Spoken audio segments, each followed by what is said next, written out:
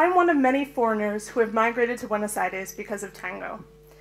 In the milongas here, the tango dance halls, you will meet dancers from all over the world the United States, Europe, South America, and Asia. Maybe they are here on a vacation for a couple of weeks, maybe they stay for a few months, and maybe they even become permanent residents. Many foreigners begin dancing in their own country, come to Buenos Aires on a tango vacation, and keep extending their trip indefinitely. One of my friends, an NYU law school graduate, was living in San Francisco working as a lawyer, and she quit her job and moved to Buenos Aires. She's just one of many educated professionals who fell in love with tango, moved here, and left their jobs behind. If they don't live here permanently, many have found a way to come back each year for a couple of months just to get their tango fix. My story is slightly different. I came to Buenos Aires and fell in love with tango while here. But like the other foreigners, tango held me in its grasp and never let me go home. So, what makes people travel halfway around the world just to dance tango? Tango was born in Buenos Aires, a city full of immigrants. It tells a story of love and nostalgia. The composer Enrique Santos Discépolo once said, Tango is a sad feeling that is danced. These are feelings we can all relate to. I'm sure many of the expats here have felt homesick. Well, just imagine Buenos Aires at the end of the 19th century, when thousands of immigrants left their families and came in search of a better life. They were lonely and overwhelmed by work. Tango offered a space where they could express the nostalgia they felt for their homeland and culture. It was also a place to socialize and get lost in the tango embrace.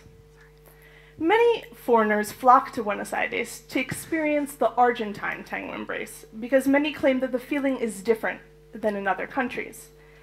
Maybe this is because the tango embrace is an expression of the Argentine culture, history, and identity. The Argentines often have a deeper understanding of tango because the music and the lyrics are part of their history. But the embrace is not the only thing that is different.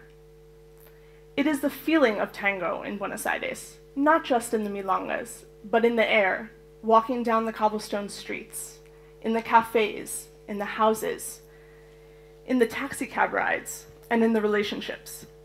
This is the feeling that continues to draw people from all over the world to dance here in the Mecca of tango. Most tango connoisseurs say to really dance Argentine tango, one must eat, breathe, and live it here.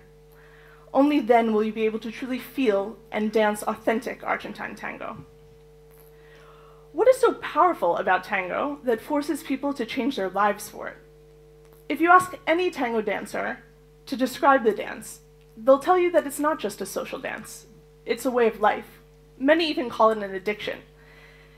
Most tango dancers will spend at least a few nights a week, if not every night, dancing tango.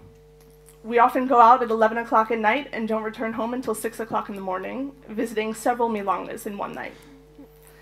Many, when not in Buenos Aires, where tango is always at your fingertips, will drive hours and often cross oceans just to fulfill their tango desire.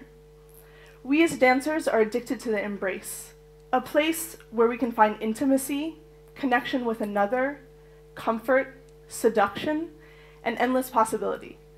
The tango embrace allows us to be present. It can give you a feeling of other bliss or even transport you to another place. And it is the embrace that keeps us coming back for more. When I asked an Argentine friend once if he could explain what tango meant for him, he simply responded, Can you explain love? Tango, like love, is often difficult to describe, but is a powerful, addictive sensation that is almost impossible to live without.